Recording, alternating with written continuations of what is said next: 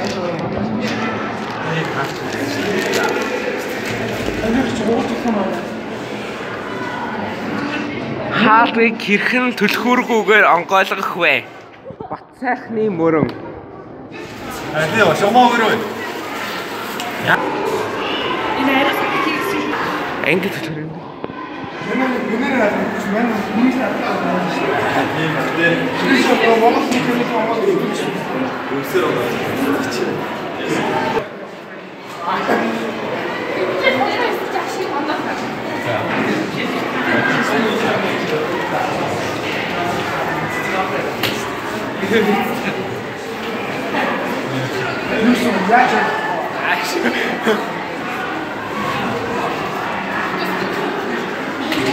Horse. Karten. Nasıl bakışta bir öldürüp durdurunca No, ja, to już. Na, ja, to. Na, to, to.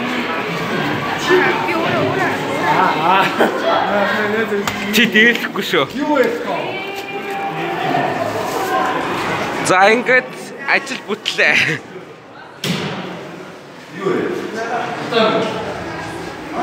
Энэ бол бат сайхны мөрөн.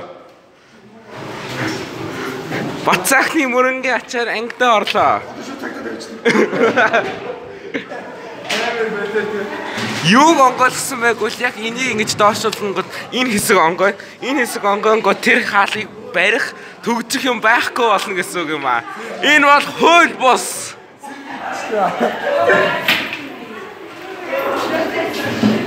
вэ?